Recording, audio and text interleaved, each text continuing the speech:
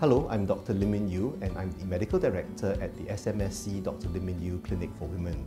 I am a consultant obstetrician and gynecologist and also a fertility specialist.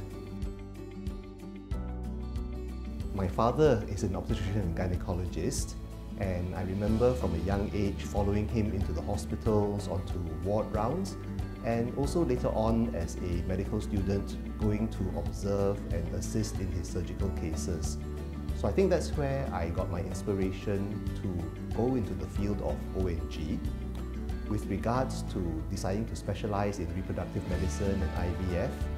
One of the challenges that I see is women who are trying very hard to start a family and I thought that if I was able to help them, then that would give me fulfillment. I like obstetrics and gynecology as a whole because there's a nice mixture of medicine as well as surgery, from looking after complicated cases in pregnancy all the way through to doing various gynecological surgeries. And of course, my particular passion is in helping women become pregnant, whether it's in simpler forms of assisted techniques such as intrauterine insemination or moving on all the way to IVF or in vitro fertilization.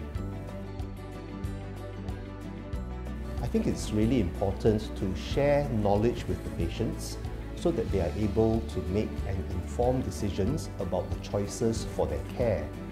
And many patients have fed back to me that they really appreciate this because if they've been to other doctors, that isn't always necessarily the case. I think the most important thing when it comes to choosing a doctor is that their style kind of resonates with your style. Everybody's going to be slightly different. Doctors are going to have a different way of communicating with their patients. And when you've seen somebody, if you feel comfortable with them and that you're able to trust their advice, then I think that's probably the most important thing.